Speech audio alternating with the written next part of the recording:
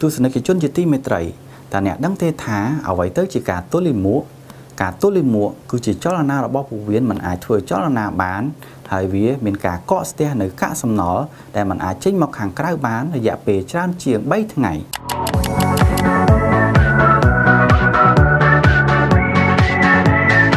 បញ្ហាទល់លាមកមិនមែនជារឿងលេងសើចនោះទេខណៈពេលដែលរាងកាយត្រូវការបញ្ចេញកាកសំណល់ដើម្បីជៀសវាងការបង្កទៅជាជាតិពុលនានាផ្ដល់ផលប៉ះពាល់គួរឲ្យព្រួយបារម្ភនៅក្នុងរាងកាយប្រសិនបើអ្នកកំពុងជួបបញ្ហាទល់លាមកឬចង់បង្ការបញ្ហានេះកុំឲ្យកើតឡើងចូលតាមដានជាមួយខ្ញុំដូចតទៅ1ក្រូចឆ្មា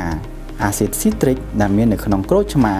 អាចជួយបង្កើនការងាររបស់ប្រព័ន្ធរំលាយអាហារដូច្នេះវាក៏អាចកម្ចាត់និងបញ្ចេញនៅកាកសំណល់រួមទាំងជាតិពុលចេញពីក្នុងរាងកាយបានយ៉ាងល្អប្រសើរអ្វីដែលអ្នកត្រូវធ្វើគឺគ្រាន់តែច្របាច់ក្រូចឆ្មាមួយផ្លែចូលទៅក្នុងទឹកក្តៅអ៊ុនៗមួយពែង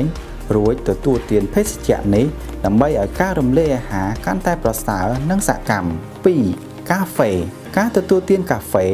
គឺមិនត្រឹមតែជួយឲ្យអ្នកមានធម៌ពលអារម្មណ៍ស្រស់ស្រាយនៅពេលព្រឹកប៉ុណ្ណោះទេប៉ុន្តែក៏ជួយឲ្យការរំលាយអាហារមានចលនាសកម្មប្រសើរថែមទៀតផងគ្រាន់តែត្រូវប្រកាសថា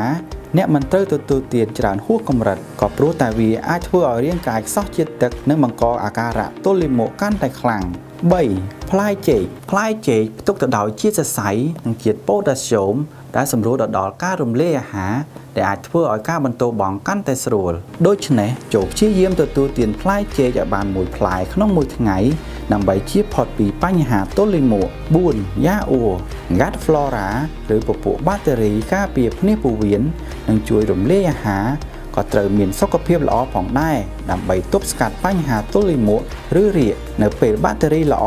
និងអាក្រក់ក្នុងពោះវៀនគ្មានតលយៈភាពនោះបញ្ហាទាក់ទងនឹងការរំលាយអាហារប្រកាសជាកើតមានវិធីដ៏ល្អបំផុតដើម្បីនាំមកនៅតុល្យភាពនៃ GAT Flora ត្រឡប់មកវិញគឺការទទួលទានយ៉ាអ៊ូសុតគ្មានបន្ថែមរសជាតិឲ្យបាន1ទៅ3ពែងក្នុងមួយថ្ងៃ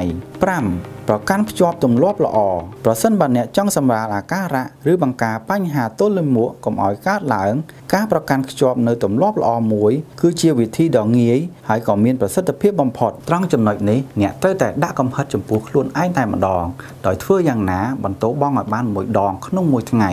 ទោះបីមានចំនួនតិចតួចឬគ្មានក៏ដោយ